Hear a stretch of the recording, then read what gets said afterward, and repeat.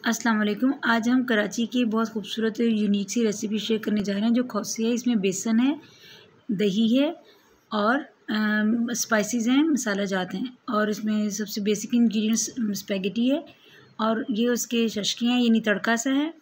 उसमें सात चिप्स इस्तेमाल किए जाएँगे उसकी गार्निशिंग के लिए। सेकंड स्टेप इसका आता है, जो हम पास्ता इसका बॉईल करेंगे, नमक डाला, फिर हम उसमें ऑयल डालेंगे। और पानी उबलने के बाद हम इसको स्पैगेटी डालेंगे और उसको सॉफ्ट होने तक टेंडर होने तक पका लेंगे। इसमें इसमें नमक जो है वो वापस हसबे ज़ायका डालिएगा ऑयल भी, और नमक और स्पाइसेस की मकदार थोड़ी थोड़ी डालनी क्योंकि हर चीज़ में स्पाइसेस आएँगे। दूसरा जो हमारा है वो हम कड़ी बनाने की तैयारी कर रहे हैं। इसमें हम सारे मसाले जो प्याज है, टमाटर है और गार्लिक है, हम इकट्ठा ही डाल देंगे क्योंकि हमने इसको ब्लेंड करना है। तो जो ही ये अपना रंग चेंज करते हैं, हम इसमें नमक, मिर्च, हल्दी, गरम मसाला जो घर का बना हुआ है, उसकी मैं बाद में रेसिपी शेयर करूँगी। और साथ ही हमने ब्लेंडर में दही डाला, उसमें चार चम्मच हमने बेसन डाला और उनको यही स्पाइसी जो हमने फ्राई किए थे सब्ज़ियाँ वो डाल के तो ब्लेंड कर लिया उनको, एक थिक सी बना ली कड़ी। अब हम इसको बॉईल करेंगे कड़ी को। नेक्स्ट हमारा चिकन की चिकन को फ्राई करना है। हमने इसमें सबसे पहले प्याज डाला। उसको हमने रंग बदलने के लिए उसको सौते किया ऑयल में। इसमें थोड़ी सी अदरक डाली, अदरक लहसुन की वो पेस्ट डाला।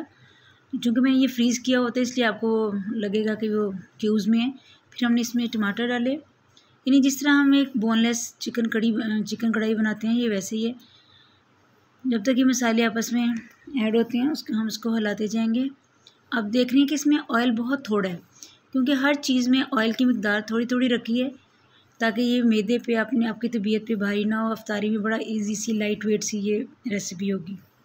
नमक डाला, मिर्चें डाली लाल मिर्चें, हल्दी और गरम मसाला। इसके बाद जब ये मसाले आपस में रच बच जाएँगे, टमाटर उसकी ग्रेवी ख़त्म हो जाएगी, टेंडर हो जाएगा तो हम इसमें चिकन डाल देंगे। उसको आप अच्छी तरह से भूनेंगे ताकि उसकी, उसका रंग भी बदल जाए उस पर स्पाइसेस रच बच जाएँ। ये बेसिकली ये बर्मी डिश है जो कोकोनट मिल्क के साथ बनाई जाती है, लेकिन चूँकि मैंने एक दफ़ा कोकोनट मिल्क के साथ बनाई थी तो उसमें थोड़ी सी मिठास आ गई थी।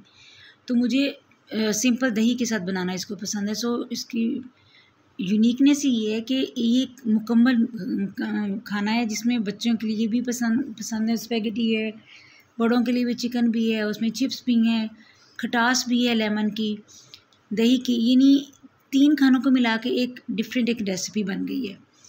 अब ये देखिए, एक ही वक्त में हम तीन चीज़ें बना रहे हैं। कड़ी भी बना रहे हैं, चिकन भी बना रहे हैं और साथ स्पैगेटी बॉयल भी हो रही है। ये नहीं झटपट बनने वाली डिश है। इसको इंग्रेडिएंट्स इकट्ठे करने में आपको पाँच दस मिनट लगते हैं। उनको कटिंग वगैरह करने में बाकी हार्डली इसको आधा घंटा लगता है। अब हमने जो स्पैगेटी बॉयल की थी, हमने डिश आउट की सर्विंग डिश में। हमने ऊपर इसके ऊपर कड़ी डाली जो हमने तैयार की हुई थी। अच्छी तरह उसको स्प्रेड किया ताकि वो उसमें सारा रच बस जाए। यानी शोरबे की तरह भी नहीं बनाना, लेकिन उसमें उसमें कवर करे उसको। अच्छी तरह उसको कवर किया उसको कड़ी के साथ स्पेगेटी को कवर कर लिया। अब इसके ऊपर हम जो चिकन तैयार किया हुआ था, वो डाल देंगे बोनलेस चिकन वहाँ अपने, हमने हरा धनिया और हरी मिर्ची डाल के उसको गार्निशिंग कर लिया। ये देखिए इसमें ऑयल बहुत थोड़ा है। और ये बड़ी लाइट वेट सी रेसिपी है।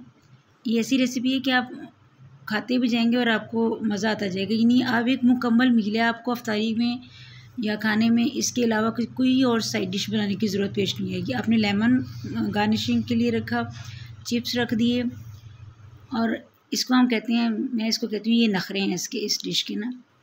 बॉयल अंडे भी डाले जा सकते हैं। यानी आप इसमें जितना जितना ऐड करते जाएँ। उसके बाद हमने इसका तड़का तैयार करना है। छोटे से फ्राइंग पैन में हमने दो तीन चम्मच ऑयल डाला। इसमें हमने लंबी काटी हुई हरी मिर्चें डालेंगे और उसके बाद उसमें कट, दादड़ की हुई जो कुटी लाल मिर्च होती है, वो डालेंगे। इन्हीं हल्का हल्का से, हम, हमने उस मिर्चों को पकाना नहीं है, बस उसका उसका रंगत भी चेंज ना और वो सॉफ्ट भी हो जाए।